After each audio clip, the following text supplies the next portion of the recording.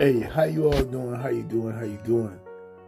I just want to say, you know, I I am truly blessed. We are truly blessed to be here another day. We are truly blessed every day that we can be here and enjoy life. It's a truly a blessing. You know what I'm saying? And uh, sometimes we don't think about it. We don't think about how blessed we are. We look at all the bad things that happen in life. We look at all the bad things that happen in our life. And we just don't realize that we're blessed. We don't realize that we should be thankful for another day. We don't realize it sometimes. We know it, but sometimes we just don't realize it. Because we're looking at all the bad things that has happened to us this year, all the bad things that has went on.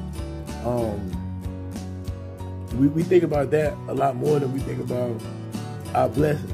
You know what I'm saying? Certain things that has to happen in life. You know, life is a process. And certain things are gonna happen and ain't nothing you can do about it. But we gotta look at the good side as well. We can't always look at the bad side. Because there's so much good to look at. There's so much good to see. You know, in life. It's so much good. Don't just focus on the bad because the bad will get you depressed and then depression leads to anger. Anger leads to mental illness. And then we just keep going down the rabbit hole and then we don't know how we got there. You know? So it's good to stay upbeat, stay understanding, and realize that you are truly blessed. Everybody that had a chance to experience life is blessed.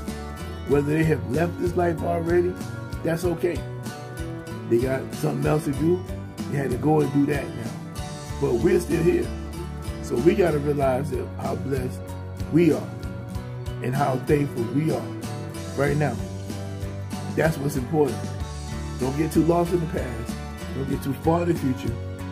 Realize here and now that we are blessed and that we should be thankful that we still get an opportunity to keep sharing love, sharing respect, and sharing with each other. That's what it's all about. Never forget that. Okay? I'll talk to you later. Take care.